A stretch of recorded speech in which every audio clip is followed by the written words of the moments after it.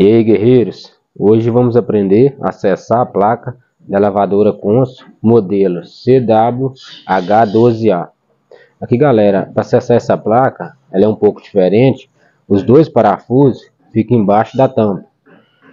Aí galera, a chave do parafuso é chave 732, mas devemos tirar a tampa de vidro antes. Vamos usar uma chave de fenda, vamos colocar ela enrolada no pano para evitar de arranhar a marca.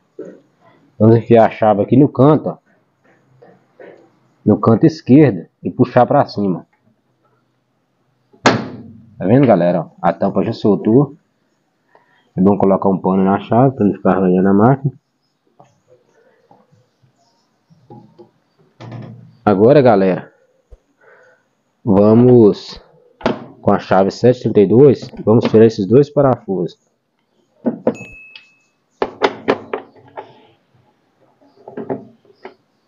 Após tirar os parafusos, vamos inclinar essa tampa para cima, que ela tem duas travas aqui embaixo. Inclinando, ó, balançando ela, para ela ir já soltando um pouco.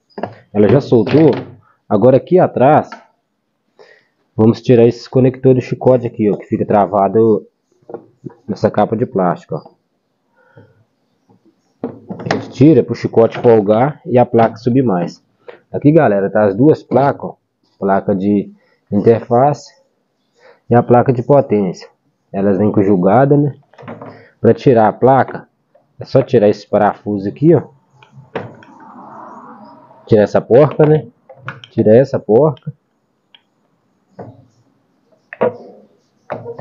E esses parafusos 732 aqui de baixo. A placa já, já solta. Para montar, galera, Primeiro a gente encaixa a parte de cima, né? Vamos conectar o chicote primeiro. Depois é... Vai ficar difícil para conectar. Tá vendo aqui, galera? Essas três travinhas aqui, ó. Ela vai encaixar primeiro, ó. Ela fica bem justa. Encaixou a parte de cima. Agora encaixa a parte de baixo e arrasta. Aperta, confere se não ficou nenhuma, nenhuma greta. Agora vamos colocar os parafusos.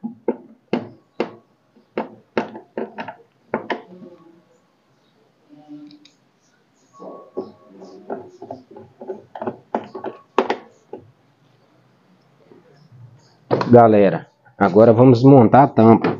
Para montar a tampa, primeiro o lado direito, depois o lado esquerdo. Essa parte de plástico, ela não fica para cima assim não, ela fica para baixo. Essa aba fica para baixo. Ficou para baixo, vamos encaixar o lado direito, depois descer o lado esquerdo e só apertar para baixo. Ó. Já encaixou, fechada?